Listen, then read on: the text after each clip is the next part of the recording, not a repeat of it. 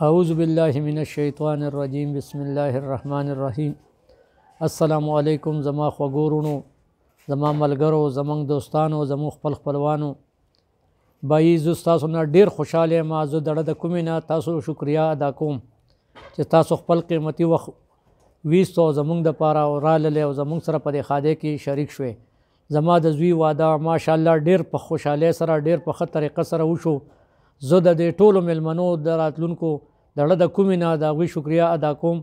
او چې کم زمونږ نه پاتې شوي یا په غلطۍ سره یا داسې چې زمونږ د کم وخت په وجه باندې د هغوی نه معذرت غواړم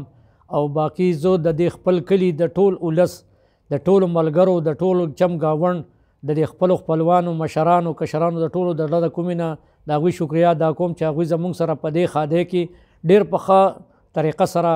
دا وخت ویستو زمونږ خدمت یې وکړو زمونږ د میلمه قدر او عزت یې وکړو که زمونږ نه څه خطایي شوي په دې کې چېرې مونږ د کم میلمه سره یا میلاو شوي نه یو یا څه